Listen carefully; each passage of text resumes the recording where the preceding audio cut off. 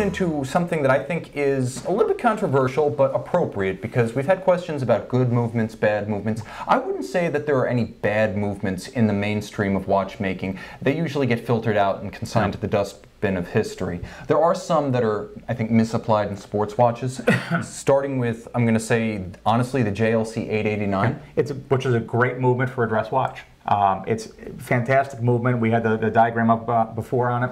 It's a great movement to service, um, but it's also it's more a delicate movement. It's, it's not meant to pound nails with. Yeah, when you're looking at a movement that is thin and fine and would be appropriate at the opera, oftentimes that's a very bad choice for a 50 millimeter sports watch. Yeah. Or in the case of IWC, which learned the hard way during the 90s, a beater pilot's watch, the Mark 12s featuring the 889. That's the reason IWC eventually started moving back towards ETA calibers and then eventually transitioned over to its own in-house, you know, beater grade calibers. Also, uh, the Frederic Piguet 1185 chronograph. It's used in a lot of movements. It's used in a lot of watches. Uh, I actually like the movement itself because of its its compactness.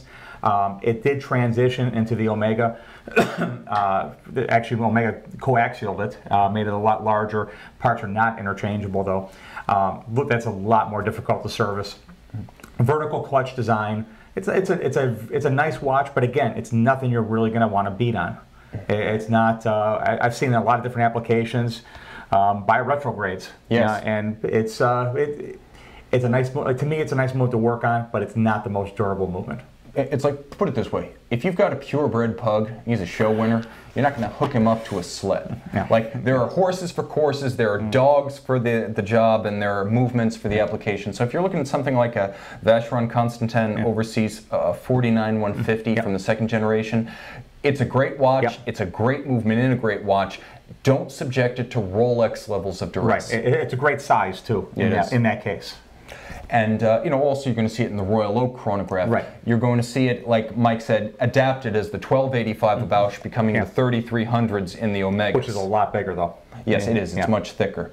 And also, uh, you know, the 1185, I, I believe it's it's almost ubiquitous. It pops up in places you don't even expect, like Gerald Genta yeah. multi-retrograde chronographs, as Mike has explained. Uh, yeah. So that was fun. Yeah. So basically, when it comes time to put a dent in your watch, don't don't do what I did to mine. Not with that. Uh, also, Girard Perregaux 3300 family, the, uh, the 3000. The, the, GP 3000. It's yeah. I've actually I didn't bring the parts down for that one. Uh, the GP 3000 is a tricky movement to service. Uh, it is very it's a very delicate movement. It is by no means a 2892 um, as far as durability. Um, they use it for a lot of modules. They use it, and it's it's a lot. It takes a lot more a lot more time to service that movement and I've, I've done my share of them. Uh, again, I'll, I would take two, you know, a couple 2892s over it, just because of durability and the driving strength and the power they put out.